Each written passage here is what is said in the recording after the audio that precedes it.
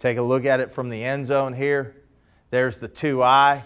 You see our guard taking it. Take your right hand, pin them in there.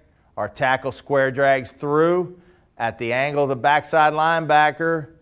Here he comes laterally or horizontally. Get on the backside number. He's starting to try to U him out. Our guard needs to stay a little bit more inside out. Kind of got a little high on the block and got taken here, got knocked off balance. And you can see if our guard stays inside out, that backside linebacker coming that laterally, we could go ahead and get on the on get on the U out and get on the butt of 79 and run the play right through. So that's really what we're trying to look at. Take a look at this from the end zone.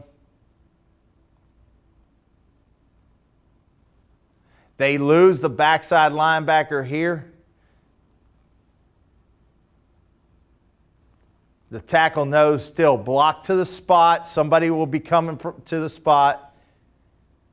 There's a great example of viewing it out. Here it is. Here he comes.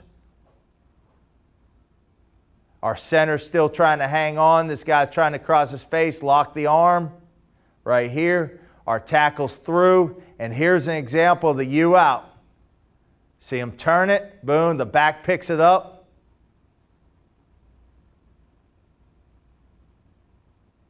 So again, when you're getting the horizontal running linebacker, go ahead and U him out.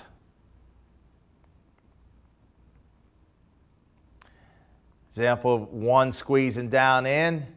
RH is going to go ahead and knock it flat. So RH is very important on this where he's trying to get his eyes through the inside armpit, but he doesn't want to allow penetration so the guard may come around in this case right here. So we're thinking that's one, that's the C gap. We're kicking them out. We have identified one. There's number two.